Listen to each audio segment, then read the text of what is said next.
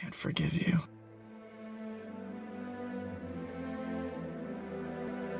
But you have to learn to forgive yourself. You know what you have to do.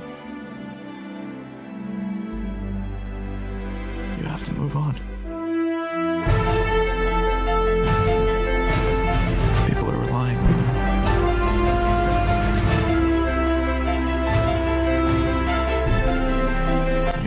to save them.